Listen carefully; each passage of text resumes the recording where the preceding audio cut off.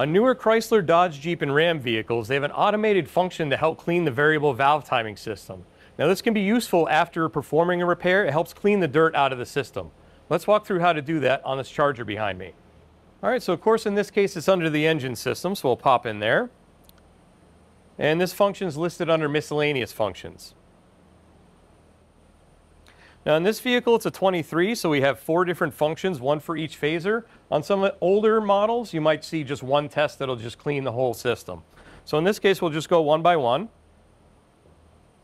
Exhaust phaser one says this function should be used to help clean dirt and debris from the oil control valve. Hit continue. Says it'll go in progress. It takes a few seconds. Once that's done, it'll say complete. We'll hit continue. Brings us back to the menu. Let's do phaser two. Continue.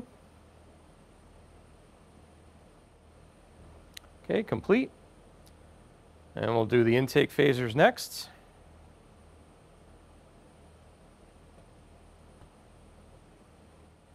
Complete. And one more, we'll do phaser two.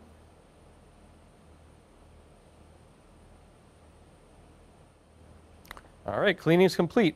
So going through that process helps us clean the phasers, clean the oil uh, or the junk out of the system that may be in there. And like I said, recommended to be done after any work on those systems. We hope you found this clip helpful. Find hundreds of other quick tips and useful training videos right here on the Snap-on Diagnostics YouTube channel.